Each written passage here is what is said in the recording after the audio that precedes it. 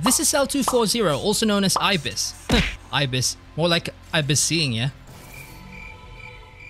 Bitch.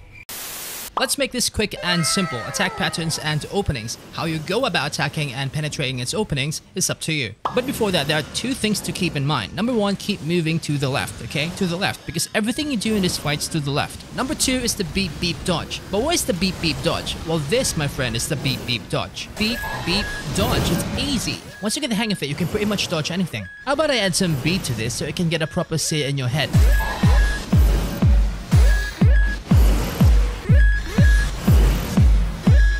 I'm with you, Raven.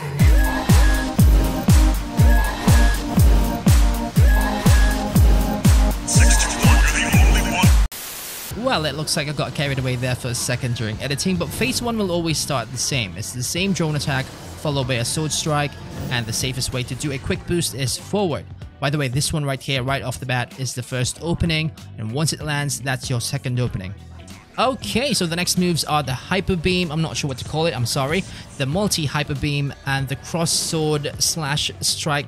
I'm sure you know the one. So be sure to use the Beep Beep Dodge because these are all openings. Also, I'd like to point out that the Beep Beep Dodge will work even if you're close to Ibis or basically any other boss. I guarantee you that this will work. Alright, fine, maybe not guarantee. Uh, I'd say 90% of the time this will work every time. That doesn't make sense. Oh, one more thing. If you lose track of Ibis, it will definitely hyper beam your butt.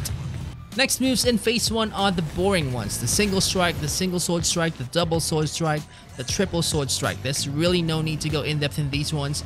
It's the same thing. Keep moving left and use the beep beep dodge. At this point, I'm really sick of saying beep beep dodge. I'm gonna call it BBD. That still doesn't sound nice. Anyway, these sword strikes are technically openings, but if you're not using a speed mech or a melee build or both, just don't bother. Same goes for the drones Ibis constantly uses throughout the entire fight, just don't bother with it unless you're doing a no damage speed run or anything like that. And now we're in phase 2, where lots of people experience premature celebration. On top of the phase 1 moves, we also have new ones and let's start off with the easiest one to dodge, the vertical slash, sword, whip. I'm not even sure with these names anymore. Can someone please come up with a better name than vertical sword, whip, slash, strike? Oh good god.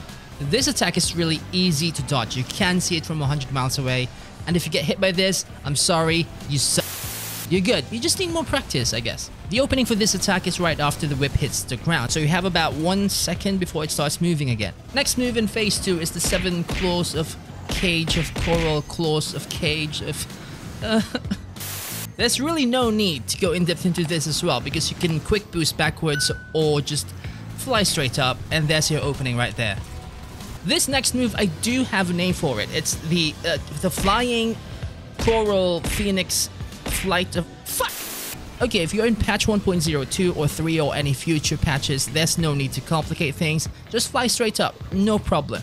But if you're still in patch 1.01, you may need to go up a bit quicker or sooner or get a stronger booster because the flight form is the flight form. Oh my good god, the flight form is a bit quicker in patch 1.01. The opening for this move is right after the move ends. However, this really isn't the best opening.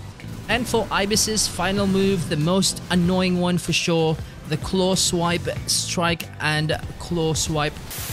So there are two simple ways to dodge this. The first one, you fly up, you do the beep beep dodge, and you fly back up, and there's your opening. However, the problem here is you might still get hit by the first strike. The second one is the safest. You quick boost backwards because Ibis will come to you anyway, and do the beep beep dodge, and you fly up, and once again, that's your opening. And there it is. I'm sure there's a bunch more openings that I didn't know or I didn't mention. If you do know them, please share them in the comments for everyone. Also, it doesn't matter if you're on version 1.01 or 2 or 3, the fight pattern is the same regardless of your version. I know because I spent hours on this guy on day 1 or 2, and winning once wasn't enough for me. Anyway, thank you guys for watching and stay awesome, possum.